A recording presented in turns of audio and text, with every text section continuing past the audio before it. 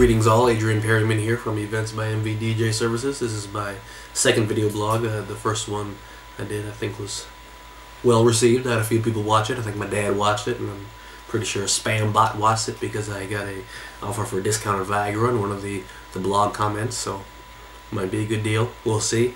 Uh, but I, this one I posted on Facebook asking people what they wanted to potentially uh, hear about or, or see about and, uh, and one person did comment, Angel, uh, asked uh, what what uh, do people get mad when I don't play songs they request? Also, I'll get to that in a second. So thank you for that, Angel. Uh, but that made me think about uh, how I, how I select music. A lot of times, brides and grooms and emails are ask will ask me how I um, handle music for, for weddings and special events. I do my best to cater it to the specific event and meet with the bride and groom and get playlists and do not playlists and all those things because of course I have a, a very large selection of music, music thousands and thousands of songs on my computer so the technology makes it easier to have plenty of songs at my fingertips but um, uh, knowing what songs to play is always difficult because you can never perfectly read a crowd. I've had weddings where uh, they have very specific musical tastes and, and requirements and nobody knows the people at the, the, the wedding, your friends and family, better than the, the bride and groom, so I try and get as much information. I've had um, some very specific songs requested that I normally, of course, wouldn't even, even have or play at a wedding. Uh, there's uh, a family that had a very specific dance to, to Wipe Out by the Beach Boys. They did at every wedding. Um, there's uh, been bride sisters who knew every word to, to Regulator, so they wanted to, to rap that halfway through the wedding Of course, I had that, but they just wanted it played. Uh, there's uh, "Take Off" by uh, uh, the McKenzie Brothers was a very specific song I'd never heard of until that wedding. Uh, there's a lot, a lot of a lot of hosers out there may not know what that song is. Uh, there's there's the Yoopers. Um, I am in Minnesota, so there's a lot of people who may know who they are. Other things like that, just very specific songs. So getting a list of songs they might want to hear, or, or then, then a playlist. There's always the do people like the Cupid Shuffle, the Cha Cha Slide, those sort of things? Some people love it, some people hate it. Uh, that with Gangnam Style and other things like that. So getting to know what sort of music the bridegroom want is the is the best way to go about having the music ready for that night.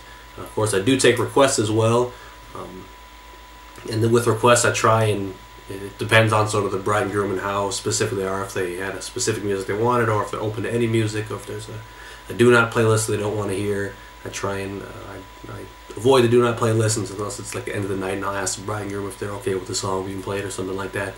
For the most part, and then if the music flows with the rest of the music being played, uh, with the, the playlist, I don't have a, a, song for song order I go through. It's just a list of songs, and I pick and choose which one to fit the mood and get people moving and up out of their seats or rotate the crowd if it's a diverse group of people and things like that.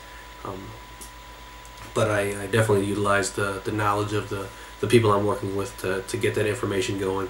And then with requests, they definitely do come in. Usually, the, the, the, more under the influence people are, the more likely they are to make requests. And as the night goes on, the, their social skills dwindle and dwindle. Uh, so they can get kind of demanding and needy, and so they do get upset sometimes if I don't play their songs. Uh, of course, everyone thinks the request is going to be the best request, so everyone's going to love this song, play it, they're going to do it. Sometimes it's a big hit, sometimes it's not at all. So I've learned when and when to and, and what when not to play requests. Of course, if the bride and groom wants it, and I'll play it. It's their party. It's whatever they want. Then there's always somebody who wants. Oh, uh, will you play? Uh, I don't know the the Barney theme song. It's a big hit. Everybody will love it. I have to question that because it's not a, a regular thing, but um, I'll, I'll, play it if, if enough people want it, or, or they may want it. Things like that. But uh, usually have kids will come up eventually. They'll come up and ask for requests or certain songs, or they'll come with their parent, or people will come up with two people and they'll both come to me, and one will say she wants this song. So I was wondering why why didn't you just make the request instead of coming up with two people? But uh, things happen. Uh, kids are usually intimidated at first, probably because I usually am at the DJ booth just staring intently. I'm just thinking and looking out at the crowd. Uh, but don't be intimidated. Feel free to come up and ask me if you want a song played. I'll do my best to, to get it in uh, at some point um, with that. But yeah, people do get upset at times. They'll they'll have their drink in their hand, spilling it all over the place, and and, and make demands and get angry and things like that. But uh, I'm used to it from DJing in nightclubs and bars and things like that. Uh, but it's it's it's always amusing um, when they are angry and upset about the the song they want played. I do my best to to make them happy, but sometimes the song is just outlandish and random or inappropriate or something like that, and it won't be played. But um, that is how I handle music. Uh, if anybody has any other questions about that, feel free to leave a comment or let me know uh, what questions you may have or things you may want me to talk about.